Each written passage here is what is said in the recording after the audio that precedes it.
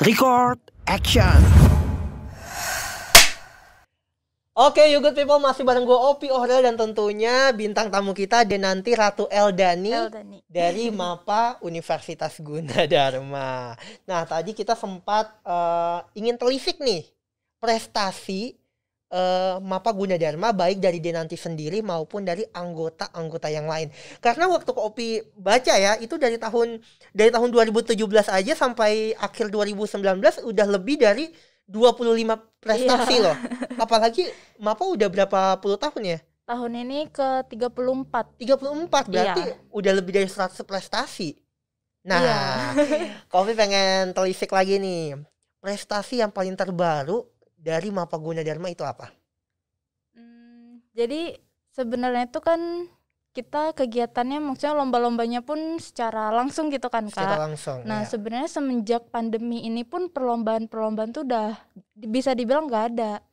Berarti gitu. benar-benar di off Lagi sementara off, ya. Iya. Berarti lagi off. terakhir itu tahun 2019. Iya. Nah, 2019 itu prestasi apa sih yang diciptakan oleh Mapa Gunadarma? Kalau seingat aku sih kalau perlombaan di luar itu kita alhamdulillah menang juara satu single rope teknik itu di mana perlombaannya? di eh Nah, IPB. lupa nih ya you good people karena saking banyaknya prestasi di IPB ya. Di Tepuk IPB. tangan dong. Apalagi kedua, Eh, terus paling banyak sih itu kak kita perlombaan-perlombaan single rope teknik karena emang paling sering diadakan pun itu gitu. Paling sama apa namanya ya kita kegiatan sendiri kayak bakti sosial.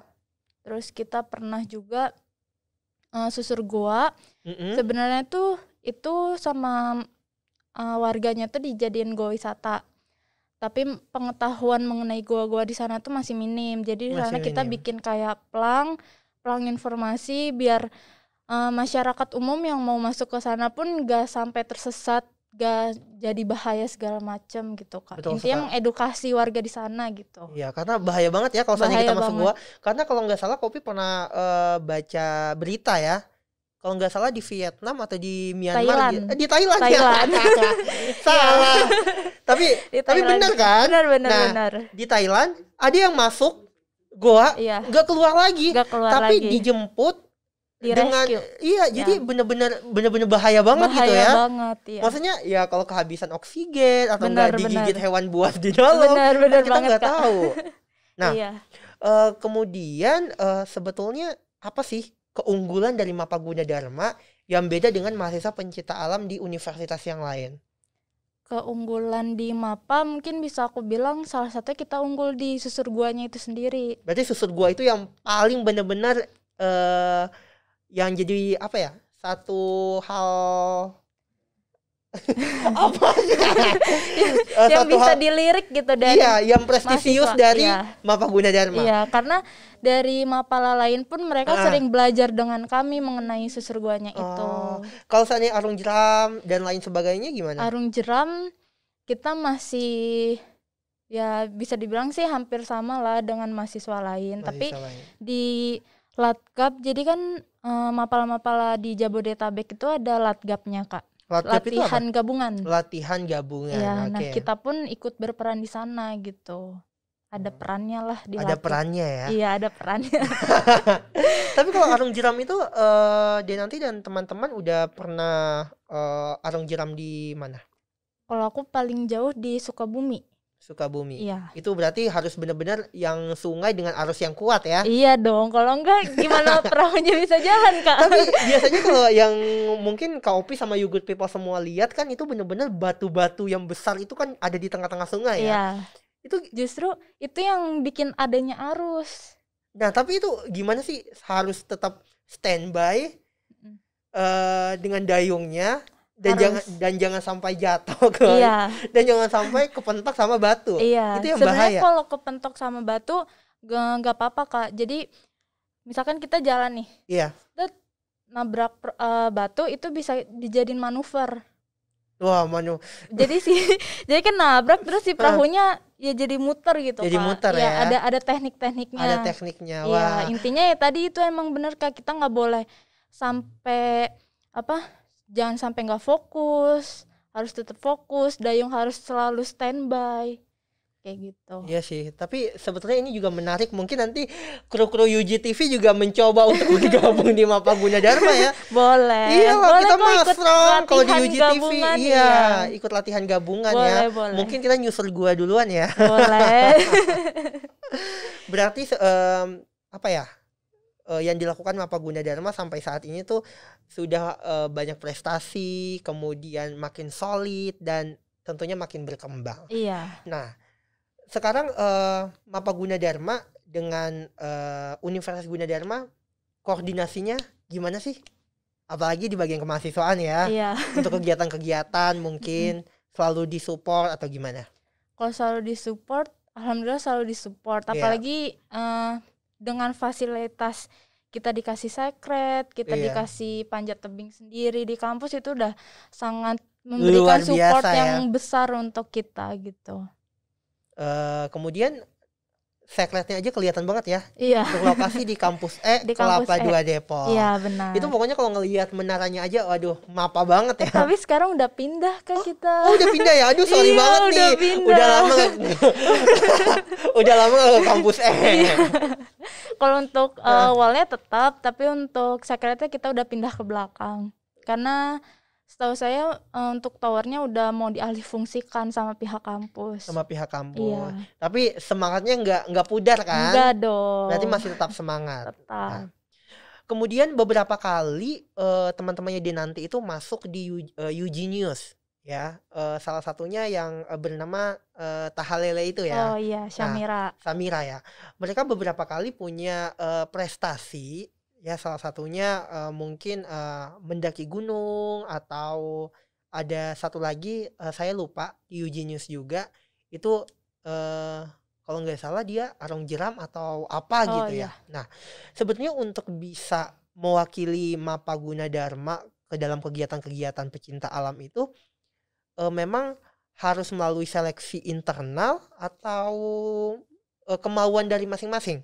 Kalau misalkan di kita sih lebih tergantung misalkan di MAPA nih kepengurusan misalkan kepengurusan aku Iya. mau ngadain ekspedisi gunung Iya. Nah, itu yang akan menjadi ibaratkan atletnya itu dari divisi di divisi gunung hutan itu sendiri gitu, Kak. Oh, berarti divisi masing-masing punya tugas untuk eh, Iya. mengadakan kegiatan eh, pecinta alam. Eh, sebenarnya kalau untuk mengadakan kegiatan sih enggak, tapi maksudnya eh, kayak tadi misalkan kan ekspedisinya gunung hutan, Iya. ya kita fokusnya sama anak-anak yang di divisi Di gunung divisi hutan yang itu. emang mereka udah punya basicnya gitu, Kak. Paling nanti yang divisi-divisi lain itu jadi tim supportnya mereka. Tim support ya. Iya. Tapi luar biasa sih kalau membaca di UG News itu kayak waduh gila Mapa Guna Dharma tuh yang kalau kita lihat cuman secret mereka sering nongkrong ya tapi sebenarnya banyak prestasi yang sudah didapatkan oleh sorry yang sudah didapatkan oleh tim Mapa Guna Dharma Itu kita tuh nggak sembarang nongkrong, Kak. iya ya kalau kita orang awam ya kelihatannya mungkin ya Ih, kayak nongkrong, nongkrong nongkrong? nongkrong doang gitu kan padahal di balik kita nongkrong itu banyak omongan-omongan mengenai kegiatan kita kita harus ngapain nih ke depannya mau ngadain apa lagi nih kayak Waduh, gitu luar biasa banget. Tepuk tangan dong buat Mapa Guna Dharma. Ya, dalam artian dengan hadirnya Denanti sebagai perwakilan dari Mapa, you good people semua juga tahu. Ternyata UKM Mapa tuh bukan sembarang UK yang cuman orang awam lihat, cuma nongkrong dan sekretnya di kampus E gitu Iya. aja, tapi banyak prestasi yang dicapai. banyak banget ya. Nah, Kemudian ada beberapa asumsi yang mengatakan bahwa seperti ini. Ih, kalau kita ikut eh, pecinta alam, misalnya kita daki gunung atau enggak eh, nyusur gua, kita tuh semakin semakin kita mengetahui sifat asli seseorang. Nah, ini berkaitan juga sama psikologi kan. Karena iya, iya. eh, yang Kak Opi dengar nih ya, apalagi kalau daki gunung. Semakin kita mencapai puncak gunung tersebut, semakin sifat eh, asli teman kita itu bakalan kelihatan. Bener nggak sih? kalau menurut aku sih ya kak Ah, ah. karena kan kita di eh, kegiatan di alam itu kita pasti fisik yang kena Iya, fisik. fisik kita pasti capek. Nah, di keadaan fisik kita lemah itu nih bisa kelihatan maksudnya kita masih tetap mau nggak nungguin teman kita yang lain Mm-mm. apakah kita mau egois aja sendiri langsung naik ke puncak atau gimana mungkin di situnya gitu kak ketika fisik kita Iya. lemah jadi ya eh, mental Karakternya. emosi kita pun bakalan keluar gitu kak Betul, kelihatan ya. Kelihatan. Tapi ada hal lucu loh. Eh, mungkin pernah dialamin oleh Denanti. apa tuh Jadi temen Kak Opi ya, Mm-mm. dia itu sering daki gunung. Dia tuh sampai bilang, kadang tuh sifat asli seseorang itu timbul kayak misalkan dia bawa makanan banyak, Mm-mm. tapi dia nggak mau berbagi.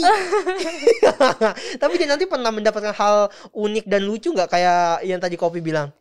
Hmm, apa ya? Kalau kayak gitu sih belum pernah. Paling yang lucu-lucunya tuh eh ini rada jorok sedikit sih kak. Maksudnya bukan. Jadi kan kita di gunung bisa beberapa hari kan. Sedangkan kita makan terus sakit perut Ah, dong sakit perut. ada aja gitu ketika kita entah lagi jalan naik atau turun, Turun, itu iya. tuh ada aja temen yang misalkan eh tunggu dong gue mau buang air dulu gitu jadi dia misah dulu nyari Ya Allah. nyari yang rada ketutup Ah. dulu terus kita tungguin kayak gitu Tapi sebenarnya wajar sih. wajar Karena iya Kak Opi di Ambon juga eh orang tua Kak Opi Mm-mm. dulu kan belum ada jalan akses jalan kayak Iya. gini. Kalau ke hutan ya BAB ya BAB aja tapi eh, mohon maaf nih you good people tapi ini pelajaran juga. iya bener-bener Karena kan belum tentu ada air kan belum tapi tentu di eh, apa untuk membersihkan itu memakai daun. Daun, iya. Nah, itu kan salah satu pelajaran di MAPA iya dong. benar-benar Iya, tapi kalau untuk kopi mah mending tahan aja Iya. ya. Walaupun aku juga beng- tahan aja dulu nanti turun-turun langsung cari kamar mandi Iya. Tapi itu hal-hal yang lucu. Nah, eh, nggak terasa nih, Denanti dan Good People semua kita udah ada di penghujung acara. Tapi Kak pengen em, Denanti memberikan wejangan atau enggak motivasi sedikit nih ya untuk You People semua untuk bisa menjadi mahasiswa yang eh, punya mental kuat, bisa strong. Nah, silahkan Denanti. Hmm, apa ya mungkin eh, saya mau menekankan cewek juga bisa gitu kak untuk masuk eh, menjadi mahasiswa pencinta alam dan juga untuk kehidupan di luarnya mungkin mental pun itu yang paling utama sih buat kita terus disiplin kerja keras Iya. mungkin seperti itu kak Wah, luar biasa tepuk tangan dong untuk Denanti. Terima kasih banyak udah hadir di Yuji Podcast Cita Inspira untuk mewakili Mapa Guna Dharma. Mudah-mudahan purna baktinya lancar, amin semakin mentalnya kuat dan Amin. Mapa Guna Dharma semakin berkembang. amin amin Amin ya Allah. Oke, you good people semua. Tadi perbincangan gua bareng Ketua Mapa Guna Dharma Denanti Ratu Elda nih Eldani. udah lupa nih kayaknya Udah lupa nih. Mudah-mudahan bisa menjadi motivasi dan inspirasi bagi kalian semua.